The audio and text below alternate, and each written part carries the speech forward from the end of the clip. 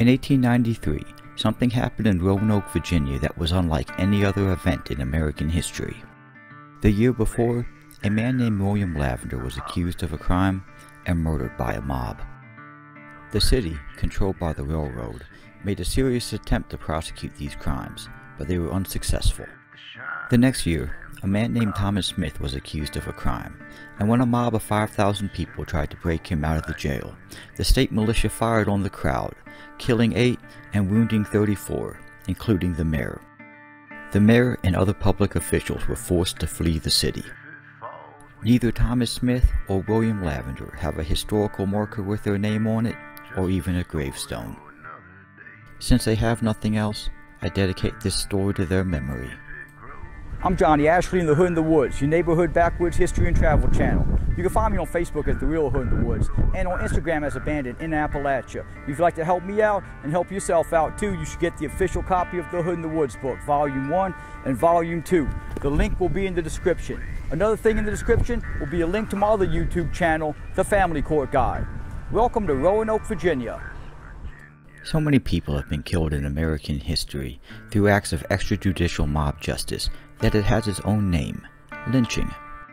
Colonel Judge Lynch is an unmentioned character in this story because his name is attached to these actions.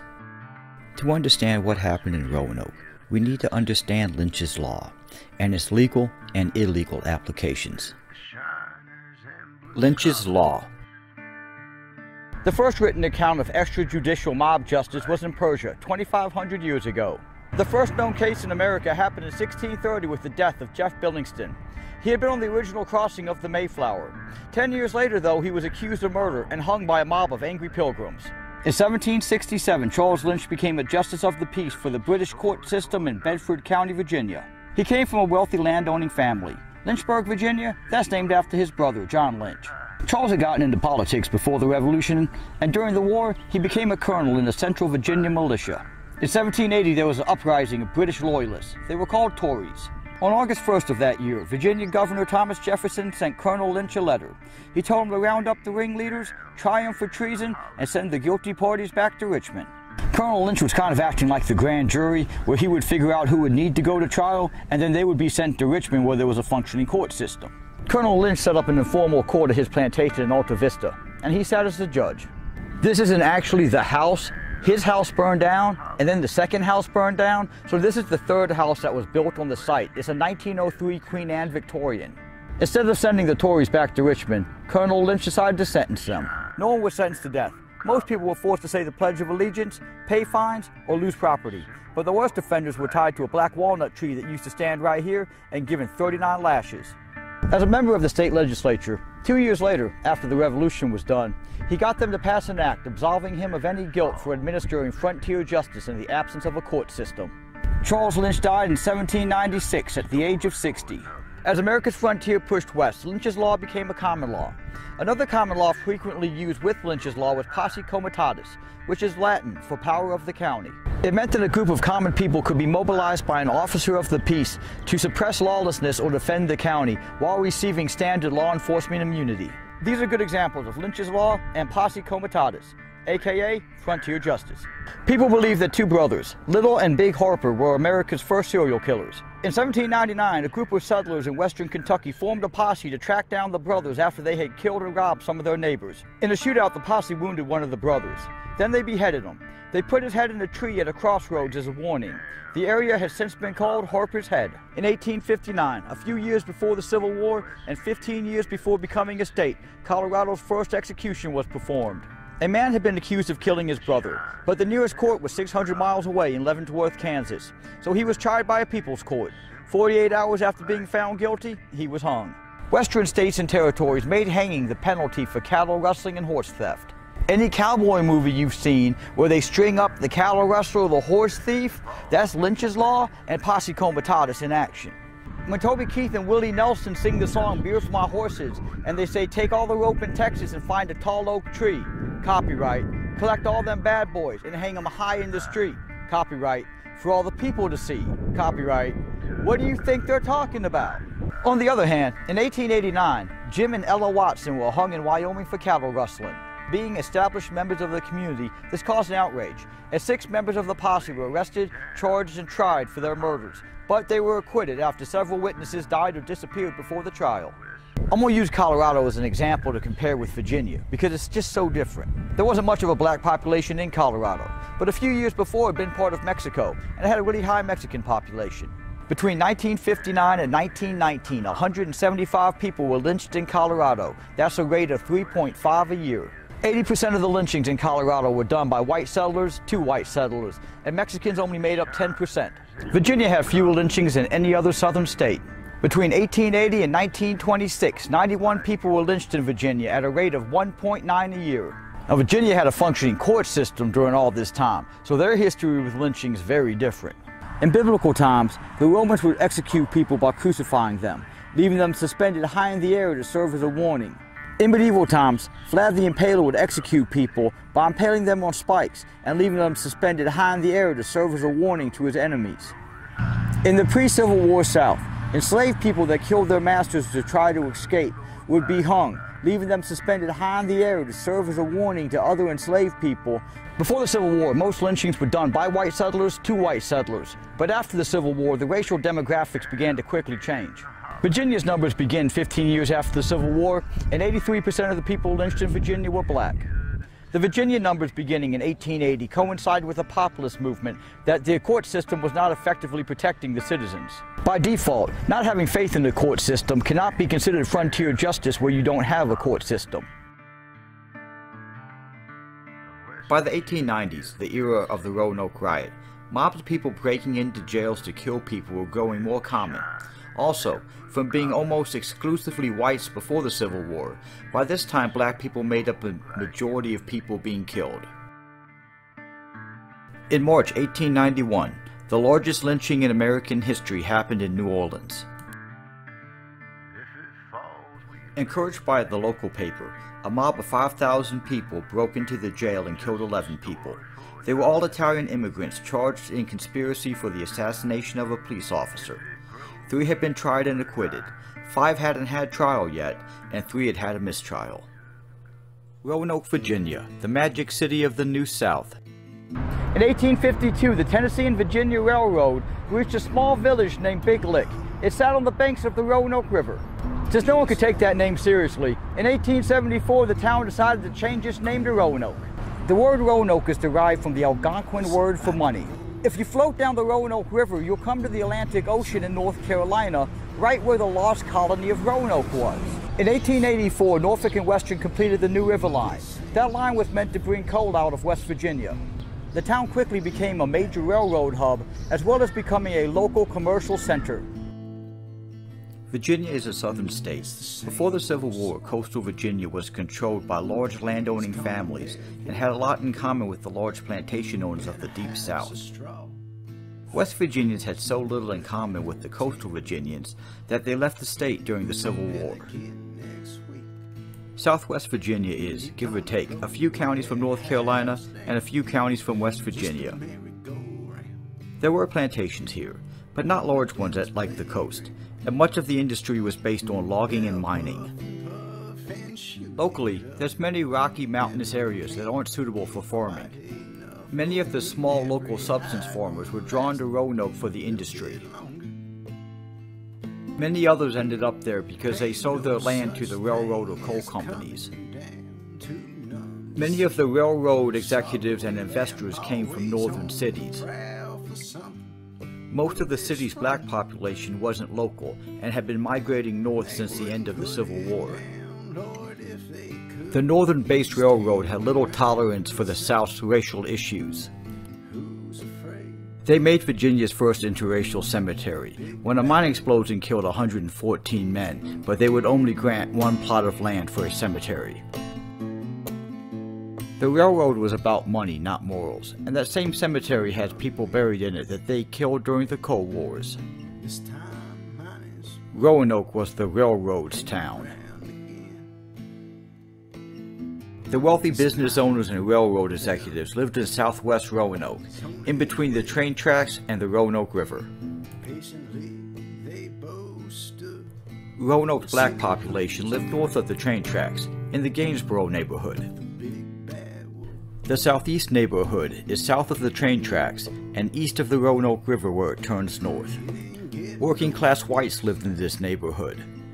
They were a lot more local than the managerial class that lived in Southwest that they worked for. A similar quality house, same size and lot space, cost twice as much in Southwest than it did in Southeast. By the 1890s, Southwest Virginia had become the most lynching prone part of the state. Most of these killings were in mining areas where the white local population was coming into contact with black people who had been attracted to the area for employment. In 1891, two years before the riot, in nearby Clifton Forge, four black miners dressed up as cowboys and went to have a night on the town. The police thought they were having too much fun, but when they tried to arrest them, the four miners embarrassed them. Then the miners headed home. The police called up a posse and they went after the miners. In the following shootout, one of the posse members was killed.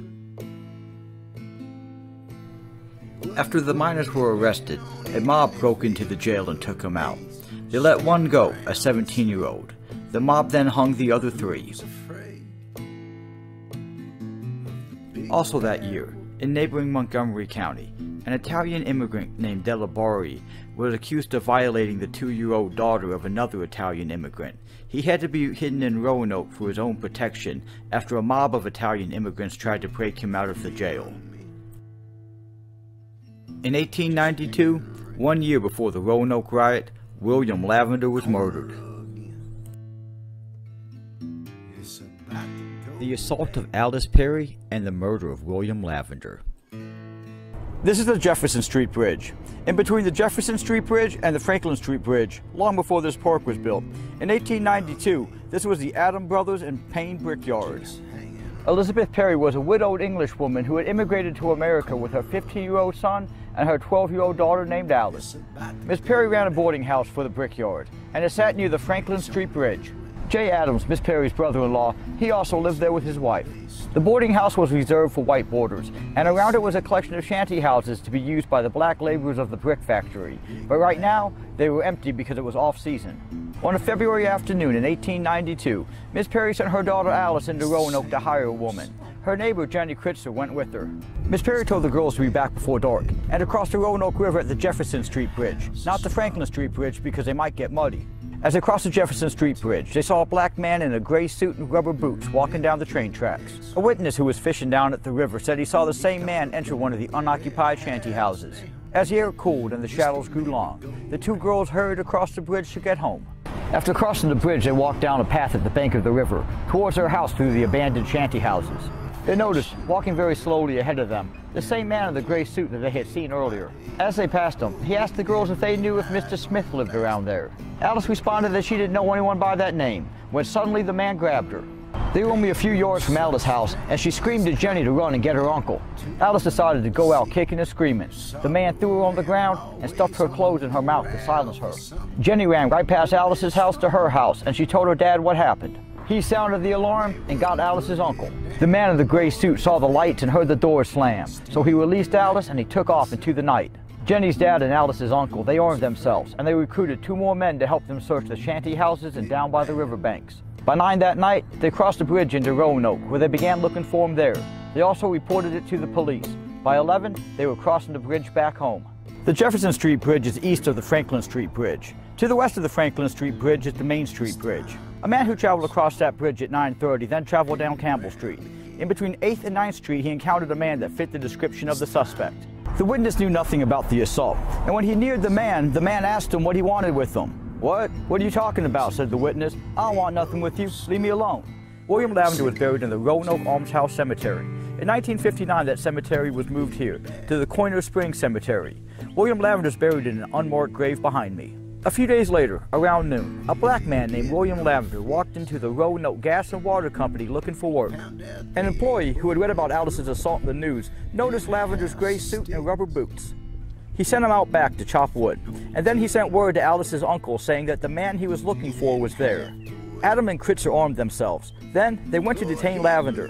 When Lavender saw them, he fled, and he had to get chased down. Lavender told him that his name was Al Winston, and he had never been in Roanoke before. They took him to the brickyard, where Alice ID'd him. Then, as they began marching him back to Roanoke to the police station, a crowd began to form. As they walked down Campbell Avenue, a man standing on the front porch of the Ponce de Leon Hotel recognized Lavender. His name was Mac Morse, and he was a former chief of police.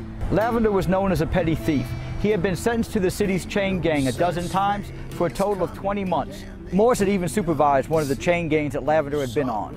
Several months earlier, Lavender had hit Morse in the head with a stone, a crime that he had served six months for. Now this is the Roanoke Courthouse, but this one was built in 1915, so it's definitely not the one that we're talking about. But it still had to be right in the same area because a lot of the other landmarks are right here too. After arriving at the police station, Lavender was put in a cell. Meanwhile, the mob flooded into the courtroom and was making threats about hanging Lavender. After hearing about what was happening, Mayor Evans went to the police station. There, a warrant was written and served to Lavender. Rumors were, to protect Lavender from the mob, they were going to put him on the 6 o'clock train to Lynchburg. So part of the mob came to Shaffer's Crossing with plans of stopping the train and pulling Lavender off. By 8 o'clock, the chief of police decided that he needed to hide Lavender for his own safety. Out of sight of the mob, he had Lavender climb out a window and down a rope to the hands of a couple cops waiting for him on the ground. They ran through alleys and shadows, avoiding lights and people until they reached the home of Officer Talley.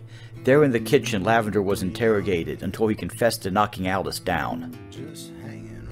Meanwhile, the mob waiting at Shaffer's Crossing realized the train wasn't coming, so they went back to the police station. Mayor Evans addressed the crowd. He said, Go home and let the law run its course. The crowd responded that all they wanted to know was if Lavender was still in the police station. When the mayor refused to let anyone in to see if Lavender was still there, the mob decided to split up and do a grid search of the city. They searched the homes of police officers until midnight, and that's when they reached the home of Officer Talley. When he refused to let the mob search for Lavender, they knew they had found him. Within 15 minutes, a hundred people circled the house. Two against a hundred ain't a fair fight, especially when the two have guns and they don't use them. Soon the mob was breaking down the door and beating the cops black and blue. They identified Lavender as the man they wanted, and he was dragged off into the night. The mob brought Lavender to the Roanoke River, near the Main Street Bridge.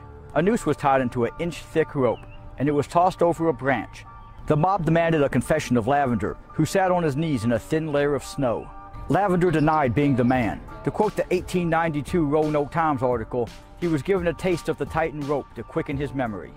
Now he admitted being the man, but he denied the charges. The rope was tightened again.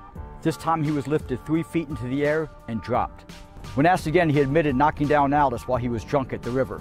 That was enough for the mob, and at 1.30, he was picked up for the last time. It was a cold morning, and the residents of Roanoke were headed to work when the frozen body of Lavender was found hanging six feet in the air. He was found by seven, and by eight, a crowd began to form. Some gazed in horror, and some in awe. At 10.30, his body was cut down, not by the police or his friends or family, but by souvenir seekers. Lavender was due one final disrespect as his body, now frozen solid, was dropped six feet to the ground, and pieces of the rope and his clothing were cut off for keepsakes. As morbid as this keepsake thing sounds, it was actually really common back then, and even when Bonnie and Clyde got killed with their shootout by the police, their bodies were almost picked bare by people keeping souvenirs too. The coroner was summoned, and he summoned a grand jury. They viewed Lavender where he lay on the riverbank. So much of his clothing had been removed that he lay there nearly bare-chested. After they viewed Lavender, he was sent to a funeral home. Ultimately, he was buried in the Almshouse Cemetery. Officer Talley, the cop that had hid Lavender from the mob, then been beaten black and blue by the mob without firing a shot, said that he couldn't identify anyone in the mob because they was all wearing bandanas. The jury ruled that Lavender died of strangulation, homicide. Judge Robinson was furious. He advised a Commonwealth attorney to investigate, and a few days later he ordered a grand jury. After the grand jury heard a bunch of witnesses say stuff like I don't recall, they couldn't find one person to charge with Lavender's murder. Maybe another reason they couldn't come up with any charges was because the local paper, the Roanoke Times, decided to publish the names of both the coroner's jury and the grand jury. They named them in an article titled Viewed by a Thousand People, a reference to what happened to Lavender the day after he died. Another article written the day before was called Judge Lynch, Roanoke's first execution. In that article, things that happened at 2 a.m. made the morning paper. It doesn't say who wrote it, but the reporter says he caught the police sneaking Lavender out of the police station and tagged along with them to the cop's house. He stayed there for a while before taking off, after he heard the confession. Nowhere in the article does he say so and so told me anything. It's written like he was there.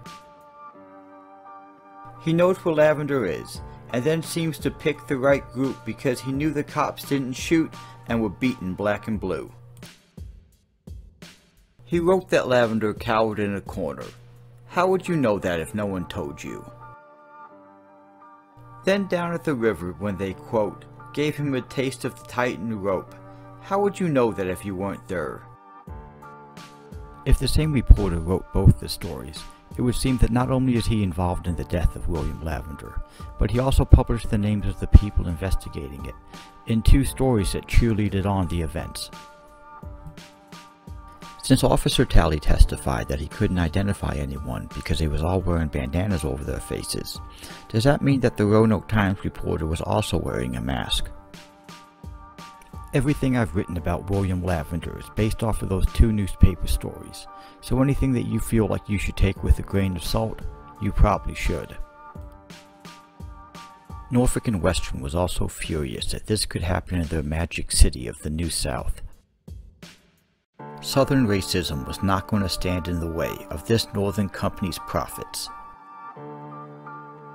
Soon, big changes were underway in Roanoke. Mayor Evans appointed John Terry as the new police chief. Then Mayor Trout was elected mayor. He was a prominent banker and a former Southern officer that had survived Pickett's charge during the Battle of Gettysburg. Mayor Trout vowed that never again would a prisoner be taken by a mob in Roanoke. Henry Trout's dad, John Trout, he had been the first mayor of the town, back when it was still called Big Lick.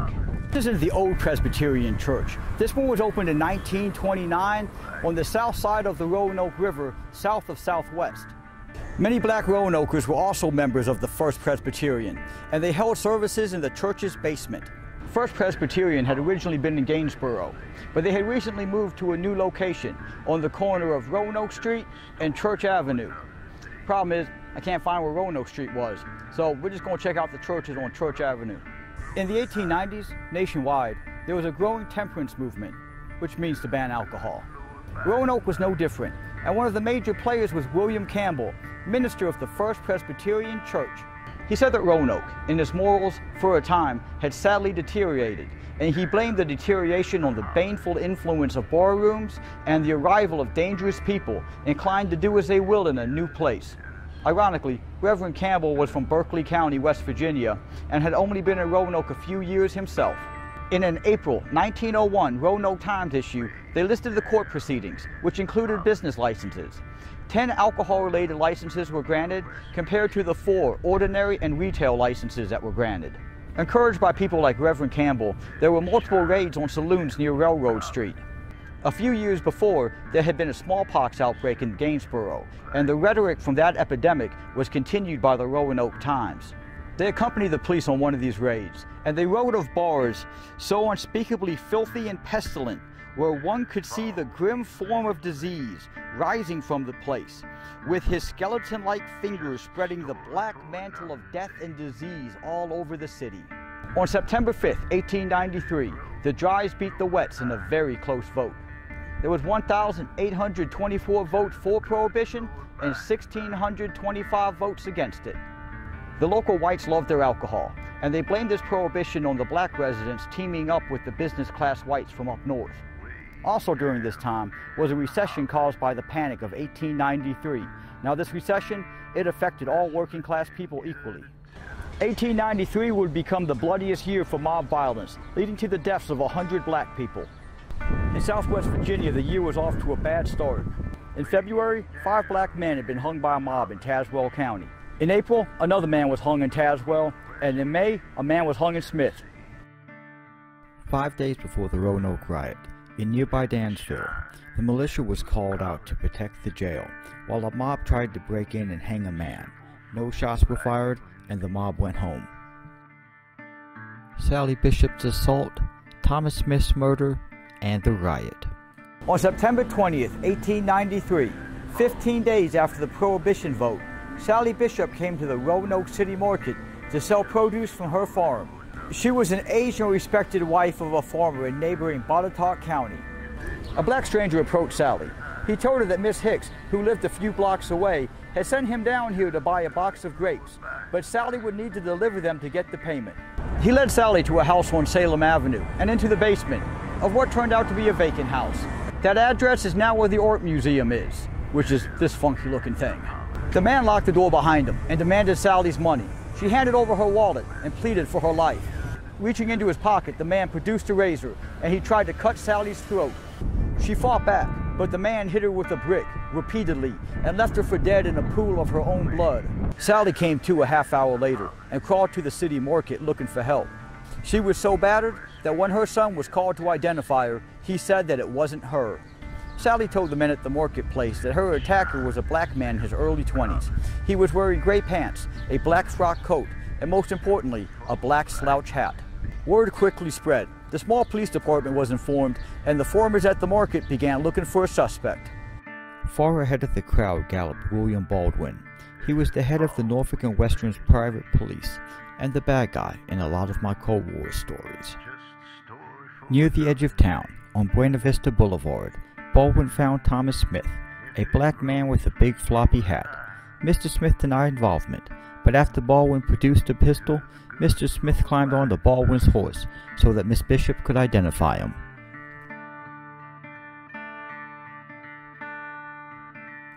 As they headed back to town, they encountered other searchers who began to follow them.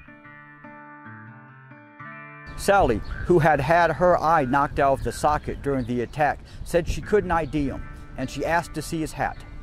After looking at the hat, she said, This is the man who attacked me. Baldwin put Smith on the horse again, and they headed to the jail. By this time, the crowd had grown into a mob, and they demanded that Smith be turned over to them. The 1890s was early in Baldwin's career. Thirty years later, though, he would drop bombs out of planes on the miners during the Battle of Blair Mountain. He must have had a reputation back then, too, because after he pulled his guns on the mob, they calmed down. Baldwin explained how sketchy the identification was, and the mob might have calmed down, but they didn't disperse, and they followed him to the jail. Several hundred people surrounded the jail and demanded that Smith be turned over to him. The mayor, prosecutor, and judge took turns trying to calm the crowd, promising a speedy trial. Besides 10 or 20 people, the whole crowd left, but the ones that stayed, they had no intentions of leaving, and soon another crowd was forming. The crowd grew, and a rumor spread that Mrs. Bishop's son had gone to Botetourt and got men to help him break into the jail to help him avenge his mother. As the sun set, 50 to 100 men, being led by Miss Bishop's son, arrived on horseback. The men from Botetourt rode up to the jail and demanded that Smith be turned over to them. As the mob grew to 5,000 people, city officials had a meeting. The chief of police said that they should move Smith to Radford to hide him, and the mayor agreed. Judge Turner opposed the idea. He said that the city should be able to protect its prisoners. The mayor nodded his head. The general instructions are to resist the mob with firearms if nothing else can be done. At 4 p.m., the mayor called up the state militia. The Roanoke Light Infantry Blues was a mix between Boy Scouts and a social club. Most of its members weren't even old enough to shave. The militia took up positions around the jail with their bayonets attached.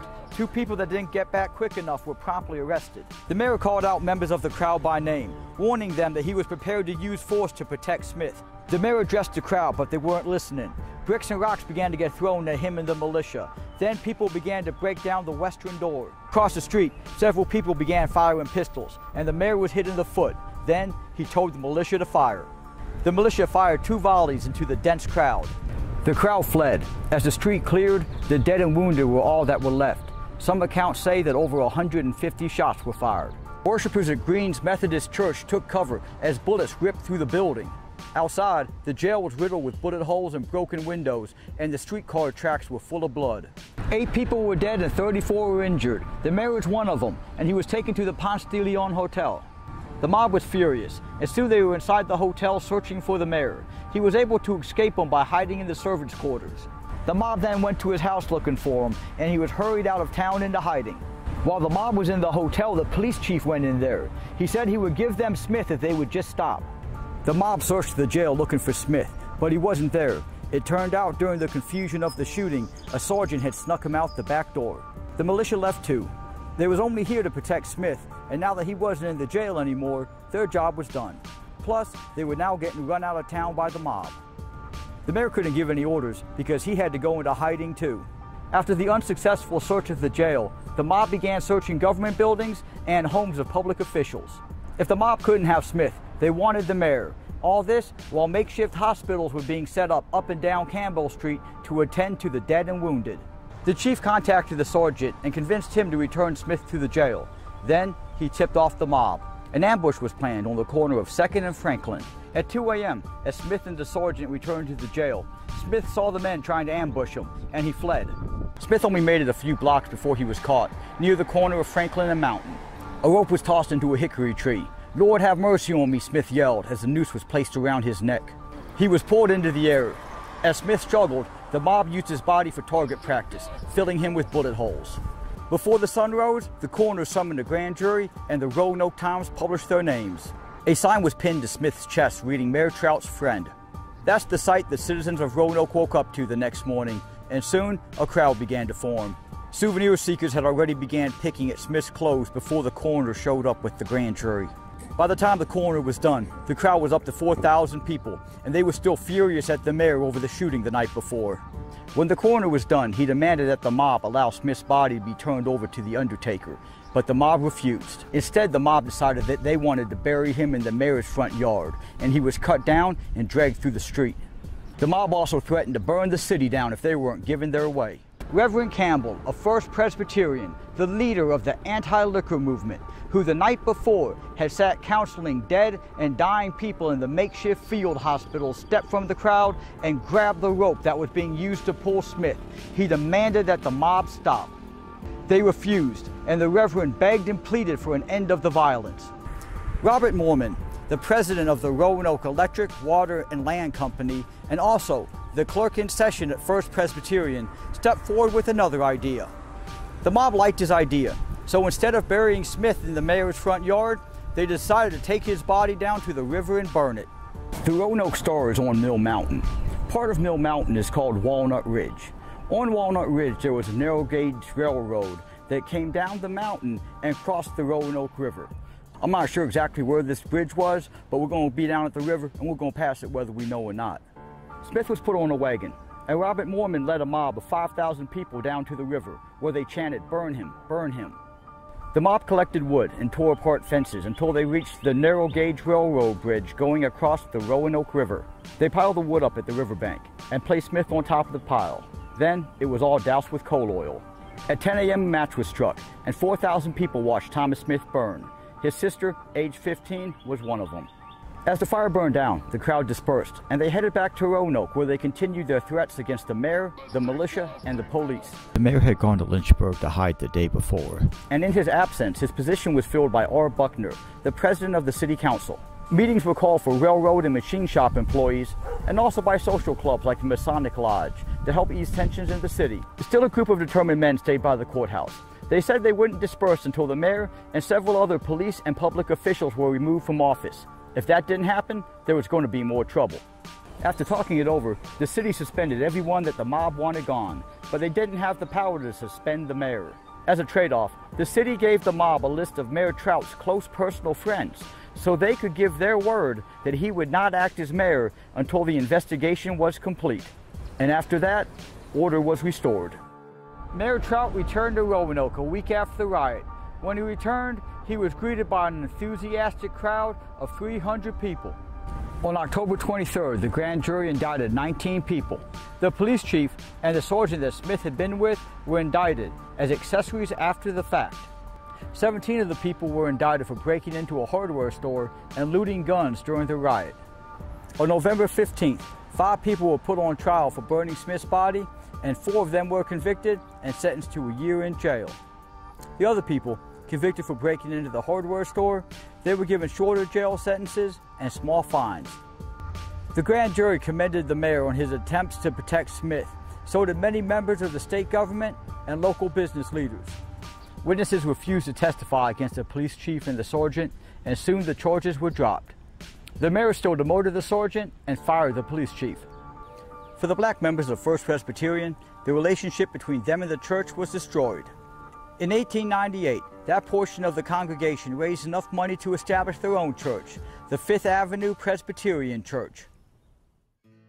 A few months after the riot, Charles O'Ferrall became Virginia's 42nd governor.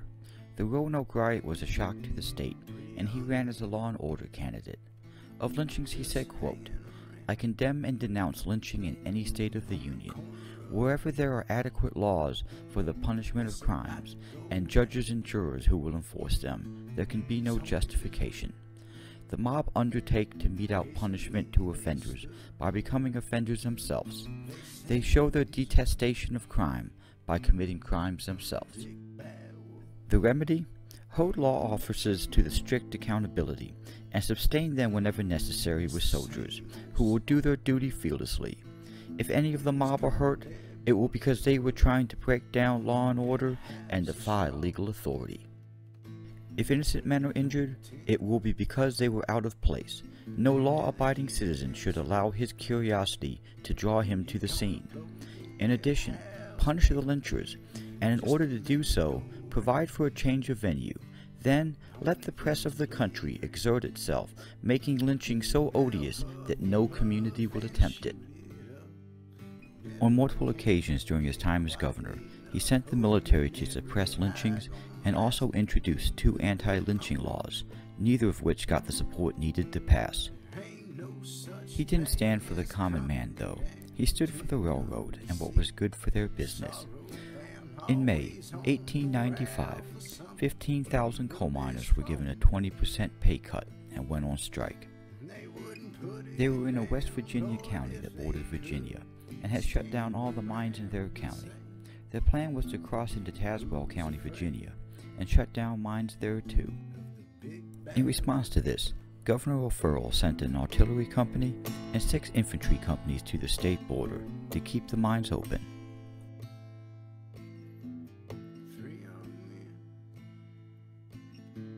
The year after the riot, on May 26, a man named Fred Hairstrom was arrested for violating an eight-year-old girl on 16 different occasions and threatening to kill her family if they informed on him.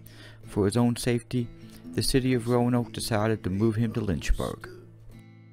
23 years after the riot, in 1916, a small article appeared in the NCAA magazine. It said, quote, The jailer of the Roanoke, Virginia, has recently revealed the fact that Smith who was lynched on September 21, 1893, for assaulting a woman was innocent and known to be so by officials a short time afterward.